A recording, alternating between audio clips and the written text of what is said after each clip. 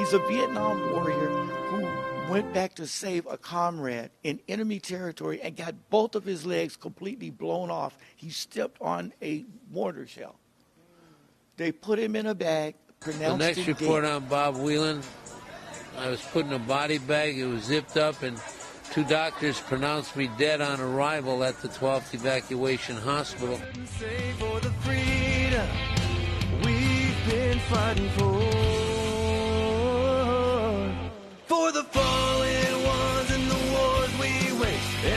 rest of us kneeling at their graves. Tears, crying tears of a warrior.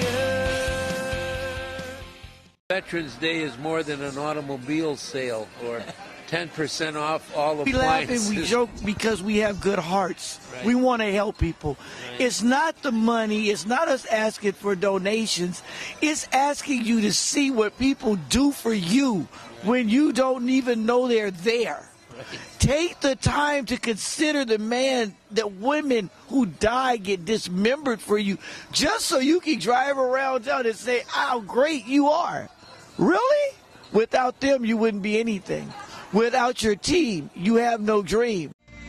And I'm proud to be an American, where at least I know I'm free. And I won't forget the men who died,